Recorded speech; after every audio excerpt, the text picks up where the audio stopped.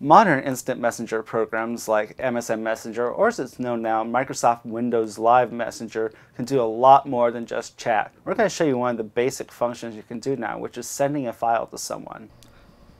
Now, one of the most basic tasks that you can do in Windows Live Messenger, what MSN Messenger is now, is send a file. It's certainly convenient to be able to just talk to someone and send them a file directly.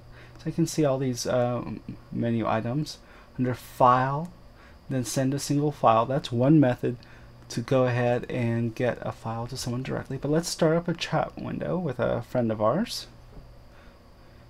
and see all the uh, the menu buttons up on top, the graphical interface.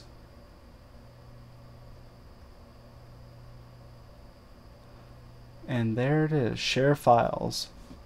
We can do it just directly from the main interface. Send a file or photo.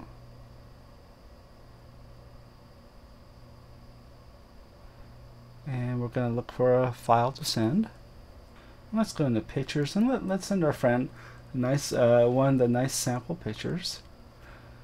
And we've uh, sent it and we're waiting for our buddy to accept. You can cancel at any time by hitting Alt plus the Q key.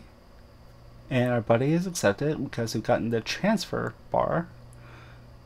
It's now showing us the, the current time left, or the uh, file size left to, to send. This is not a large file, so it should go fairly quickly.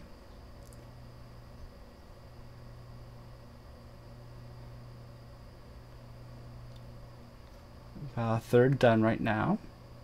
Speeding up, and it zoomed past very quickly. And so the transfer is now complete. You've sent a file to your friend.